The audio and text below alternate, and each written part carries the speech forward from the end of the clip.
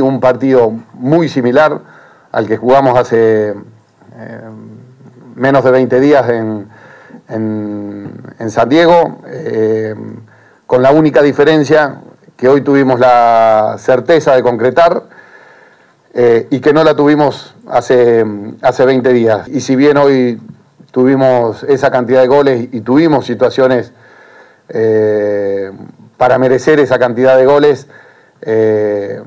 hay que tomarlo con, mucha cautela porque no, creo que sea eh, lo normal ni lo habitual. Y porque pulimos algunas cosas como ser la definición o, la certeza a la hora de los pases, la atención, la concentración, y eso nos permitió ganar. Encontrarle debilidad, lo, que, lo que sí nosotros imaginamos en el primer partido que jugamos eh, amistosamente,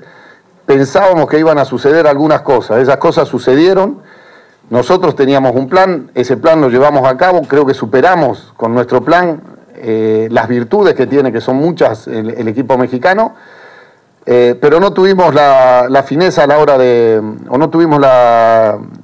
certeza de definir las situaciones de gol que generamos y en una jugada sobre el final, eh, este, mm, eh, México no, nos consigue meter un gol con un jugador, con un especialista como es Chicharito, que no, puede tener este, más de un metro de ventaja, porque si no lo, lo, transforma en, en una opción de gol o en gol.